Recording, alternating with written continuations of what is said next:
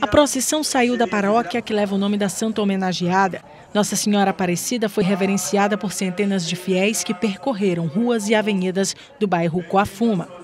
Puxando a caminhada estava a imagem de Nossa Senhora, guiada por membros do Terço dos Homens. Logo atrás vinham as crianças, vestidas de anjinhos. Quem veio pela primeira vez prestigiar o encontro, como o Frei Felipe, ficou emocionado com tantas manifestações de fé. Apesar de ser o primeiro ano que eu venho, mas eu me sinto muito feliz por ver essa quantidade de pessoas. Por onde os devotos passavam, mais pessoas se juntavam na trajetória. Nas portas das casas, altares foram montados como forma de prestigiar a santa.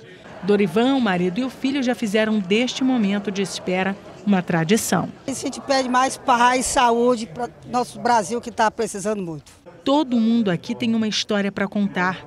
Histórias de conquistas e bênçãos concedidas por Nossa Senhora.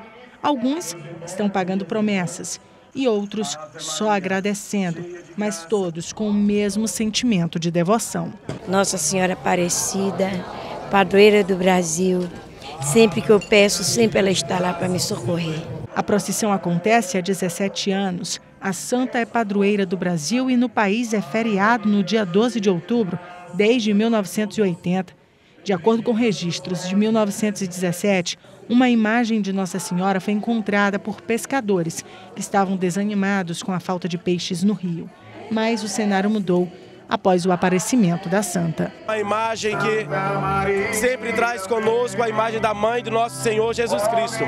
A variação dos títulos são, é, uma, é um pequeno detalhe, porque na verdade é a mãe do Senhor, a mãe do nosso Salvador, que nós devotamos.